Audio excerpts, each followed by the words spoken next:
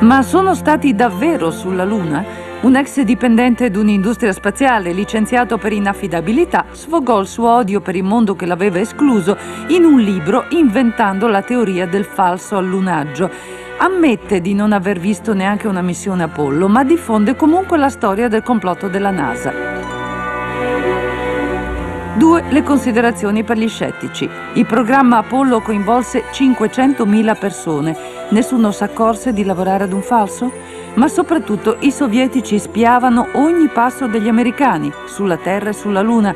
Sarebbero stati i primi a denunciare l'imbroglio. Ma la teoria del complotto vola ancora in internet e non c'è peggior sordo di chi non vuol sentire.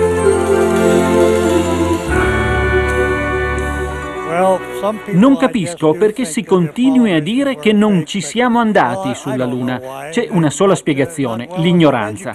D'altronde c'è gente che pensa ancora adesso che la Terra sia piatta. Credimi, io l'ho vista, non è piatta.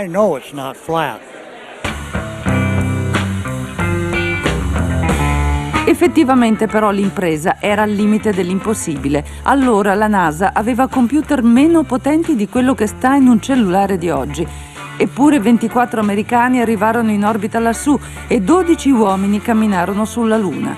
Non lo fecero certo per i soldi. La diaria di ogni missione, con probabilità altissime di lasciarci la pelle, era di 8 dollari al giorno. Il programma Apollo venne fermato nel 1972, era costato 24 miliardi di dollari di allora, pari a 100 miliardi di oggi, un decimo della guerra in Iraq.